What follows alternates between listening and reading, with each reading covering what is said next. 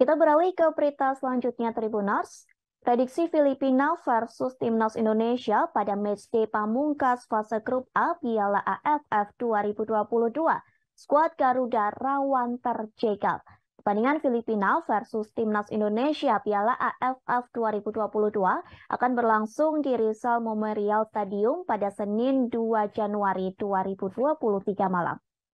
Berdasarkan tiga pertemuan terakhir lawan Filipina, Timnas Indonesia belum meraih kemenangan. Satu kekalahan telak di Piala AFF 2014 dengan skor 4-0, lalu imbang 2-2 tahun 2016 dan 0-0 tahun 2018. Hasil imbang sebenarnya cukup bagi timnas Indonesia lolos ke semifinal Piala AFF 2022, entah sebagai juara grup atau runner-up. Syaratnya yakni kemenangan diraih antara Thailand dan Kamboja. Keduanya sama-sama memiliki peluang untuk lolos ke semifinal. Jika berhasil mengalahkan Thailand dan timnas Indonesia imbang lawan Filipina, Kamboja akan maju sebagai juara grup. Begitu juga sebaliknya untuk Thailand.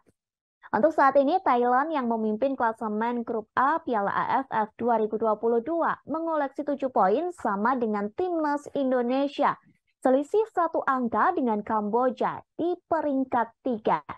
Sementara pelatih Thailand Alexander Manopolking menilai Filipina akan membuat onar dengan menyulitkan timnas Indonesia meraih kemenangan.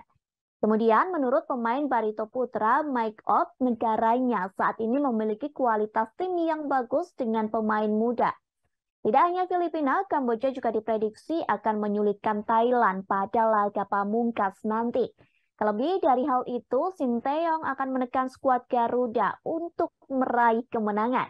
Pelatih asal Korea Selatan itu berharap hasil latihan dan evaluasi selama ini bisa diterapkan serta diperbaiki di lapangan saat menghadapi Filipina nanti. Timnas Indonesia tak boleh jemawa head-to-head -head pertandingan Piala AFF terakhir menjadi bukti Filipina memberikan gangguan. Meski tak ada kepentingan lagi di Piala AFF 2022 sekalipun menang, Filipina tidak akan melangkah ke babak semifinal. Rizky Ridho dan kolega juga patut waspada pada sosok striker Filipina yakni Kenshiro Daniels. Pasalnya yang sejauh ini Kenshiro sudah mengemas 3 gol. Ia nangkring bersama Faisal Halim dari Malaysia, Mau Mang Luin dari Myanmar, Rasime Ramli dari Brunei dan Teresal Dang maaf maksud kami Terasil Dangda dari Thailand di puncak top skor Piala AFF 2022.